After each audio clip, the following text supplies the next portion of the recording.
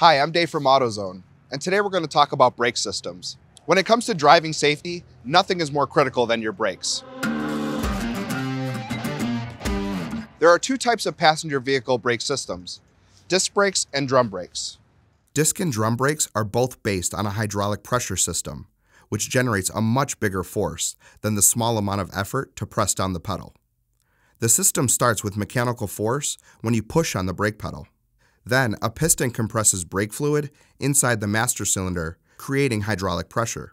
This hydraulic pressure is transferred via the brake fluid through the brake lines that connect with the brake assemblies at each wheel. Caliper pistons, or wheel cylinders, then convert this hydraulic pressure back into mechanical force. Disc brakes are found on most vehicles today, mounted on the front axle and often on the rear as well. Disc brakes use a caliper fitting with brake pads to grab a spinning disc or rotor. Consist of caliper assembly, brake pads, rotors. There are two types of disc brakes, fixed and floating. Fixed is less common. Here the caliper doesn't move when the brakes are applied. Only the piston or pistons move, pressing the brake pad against the rotor.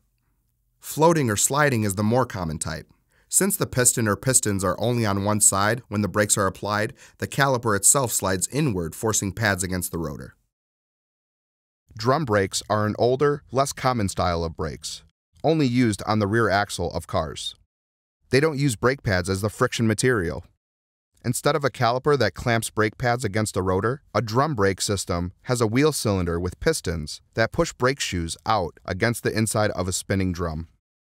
So which one is better? While they both operate with the same basic hydraulics, they perform differently. Disc brakes are more efficient, provide better stopping power, dissipate heat easier, and work better in wet conditions. Most cars use disc brakes, while some use drum brakes in the rear to keep costs down. Drum brakes are easier to add a parking brake to and are less expensive to replace, but are prone to grabbing, require cleaning, and retain heat that reduces braking force. And for more information, be sure to like and subscribe.